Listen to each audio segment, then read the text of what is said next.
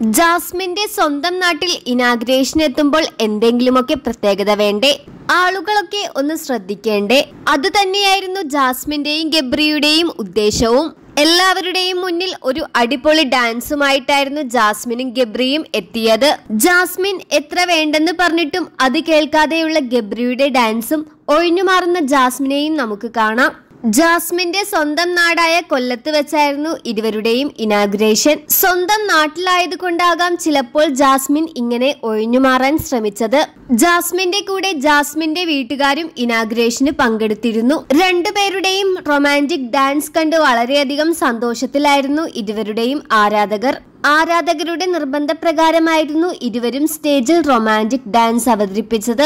Big ബോസിന്റെ ചരിത്രത്തിൽ തന്നെ ഇത്രയധികം ഹേറ്റേഴ്സ് ഉള്ള കോംബോയെ ആദ്യമായിട്ടാണ് ഇനാഗ്രേഷന് ഒരുമിച്ച് വിളിക്കുന്നത്. എന്നാൽ ലക്ഷക്കണക്കിന് ആളുകളാണ് ഇരുവരുടെയും ഇനാഗ്രേഷൻ പരിപാടിയിൽ പങ്കെടുത്തത്. ഇതെല്ലാം കാണുമ്പോൾ നമുക്ക് മനസ്സിലാക്കാം ജബ്രികൾ ഇവരുടെ ഹേറ്റേഴ്സിനെ എല്ലാം ഫാൻസ് ആക്കി മാറ്റിയെന്ന്. ഹേറ്റേഴ്സിനെ മുഴുവനും ഇവരുടെ ഫാൻസ് ആക്കി മാറ്റിയത് ഇരുവരുടെയും കഴിവ് തന്നെയാണ്.